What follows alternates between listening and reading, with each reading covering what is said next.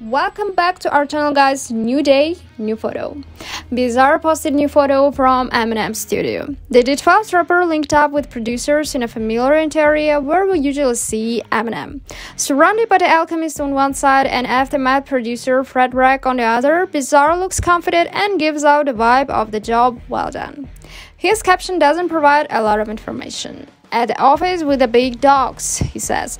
However, we know that Aftermath doesn't usually work on bizarre projects. Big guns mean big names, and we all want to believe that Eminem himself was involved in whatever happened in the studio. What do you think is going on out there? Comment below, and don't forget to like this video and subscribe to our channel.